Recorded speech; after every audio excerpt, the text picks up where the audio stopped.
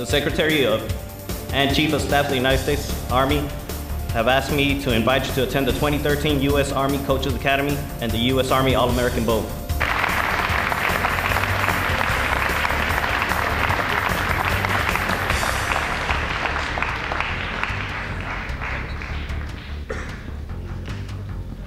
First of all, I just want to uh, thank and praise God for this, this opportunity to have one of our fine young men uh, being honored uh, for this great prestigious All-Star game.